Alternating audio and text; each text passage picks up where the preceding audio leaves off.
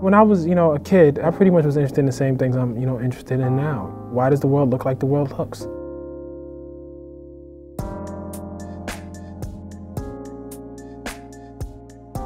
My mother was a huge influence because my mother used to make me write essays when I was a child. Uh, my dad was a huge influence because there were books all over my house.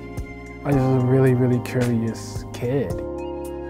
I was not a particularly good student at Howard University. I was a much better journalist than I was a student, and I wasn't a particularly great journalist, but I was a decent one. Once I realized that people would pay you to write, I mean, who needs school after that? I started in journalism when I was 20 years old. I began with an internship at the Washington City paper, an alternative paper here in Washington, D.C.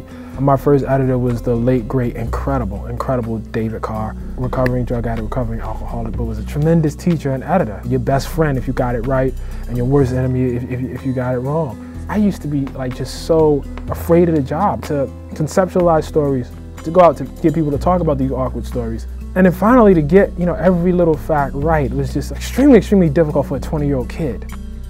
Probably the hardest one I had to do was about homeless people who were being hired to evict other people.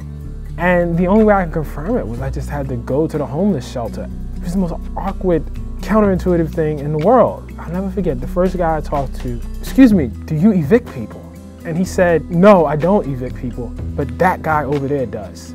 And then the story just, you know, opened up. And it was a great lesson about how so much of the fear of journalism is really in your own head. It has nothing to do with actually like the pain of actually doing your job. It's like, like pain in life is like that. So much of the pain is what's in your head. I would say that journalism has taught me is I'm a lot tougher than I thought I was.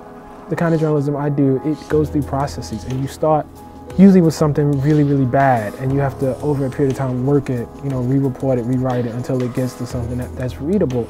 You see, the thing is that there are no right answers. No, no, there are satisfactory answers, but there are no right answers. And even the satisfactory answers, at the end of the day, ultimately just lead you to more questions. Writing is hard, but it is, it is joyous.